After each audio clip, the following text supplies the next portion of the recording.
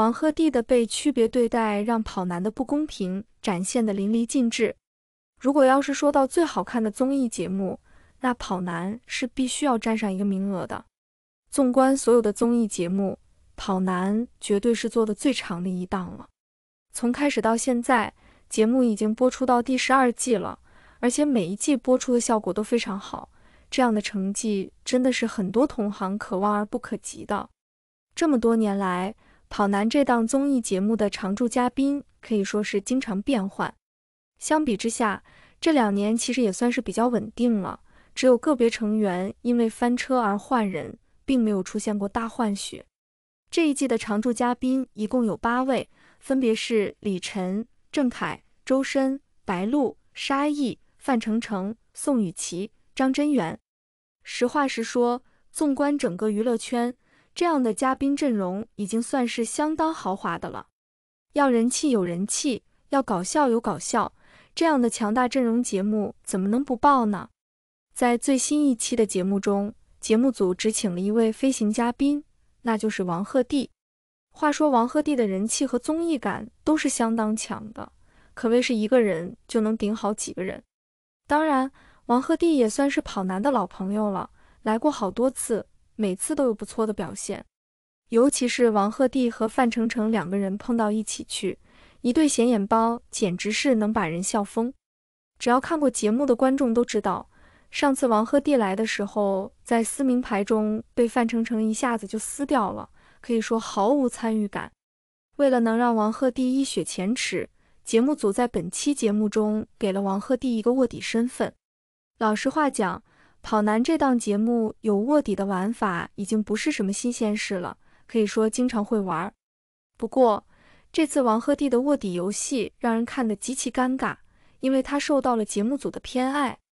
王鹤棣的被区别对待，让跑男的不公平展现得淋漓尽致。第一，游戏有利，前面两个游戏都是体力游戏，王鹤棣占优势。第一个游戏是比谁跑得快。这对王鹤棣真的是太有利了，毕竟年轻，而且腿长，运动细胞还好。第二个游戏是比谁更灵活，胳膊长也是比较占优势的。在节目一开始的时候，王鹤棣就拿到了卧底身份，再加上两个游戏都比较有利，他可以说轻松获胜，拿到了换卡机会。我觉得节目组是故意给王鹤棣放水的，要不然完全没有必要在一开始就给他身份。第二，集卡有利，王鹤棣只需要集齐三张有自己的卡就可以，几星都行。对于其他人来说，想要集齐一个人的三张卡，那必须是一星、二星、三星都集齐才可以。但王鹤棣是任何三张都可以。按理来说，卧底的集卡任务应该更难，但王鹤棣这个卧底的任务却比普通人还要容易。难道说这真的不是节目组在开后门吗？第三，有帮手。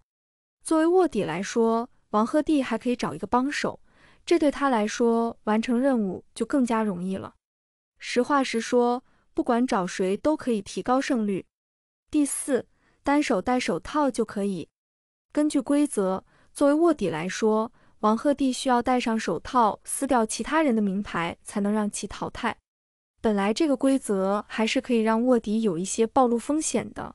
但没想到节目组却说单手戴手套就可以，一个手是正常的，只需要把另一只戴手套的手藏起来就可以了，基本不会被人怀疑的。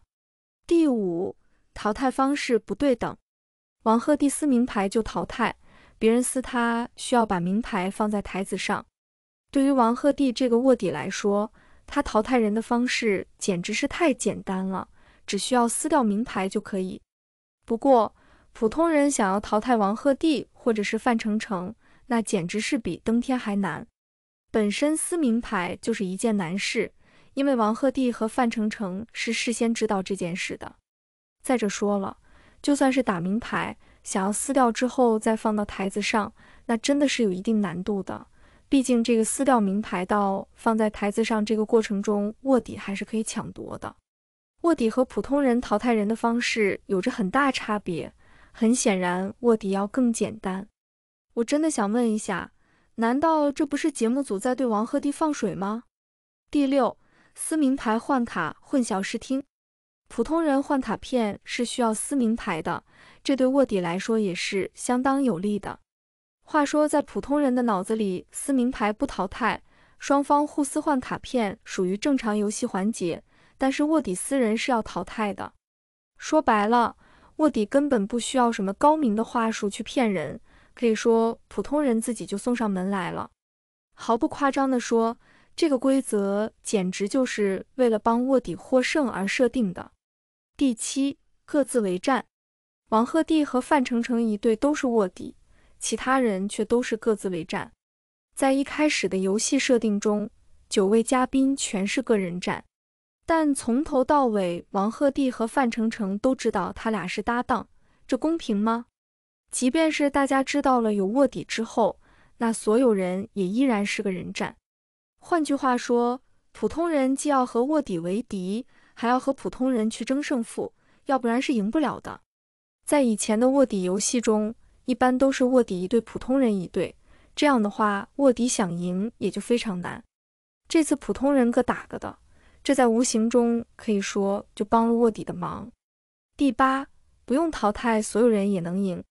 王鹤棣的任务是淘汰所有人就能独吞四张金卡，但就算没淘汰所有人，他依然是赢家。如果要是只有一个普通人完成任务，那王鹤棣可以有三张金卡；有两个普通人，那他就有两张。即便有三人兑换成功，王鹤棣依然有一张金卡，只是没有范丞丞的份了而已。这期一共有九位嘉宾，可以说卧底只需要撕掉四个人的名牌就能有金卡了。那么问题来了，撕掉四个人的名牌难吗？从整期节目来看。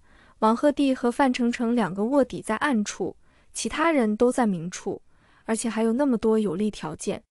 说的难听点，两个卧底根本就不需要偷袭，守株待兔都能有人自投罗网。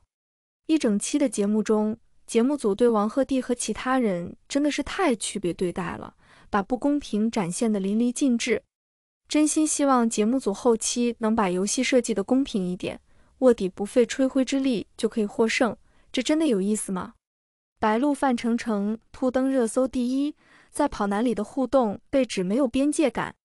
白鹿和范丞丞在《奔跑吧》节目中的亲密互动引发网友热议，关于明星界限感引发深度思考。网友观点各异，反映现代人对人际关系的理解和期待。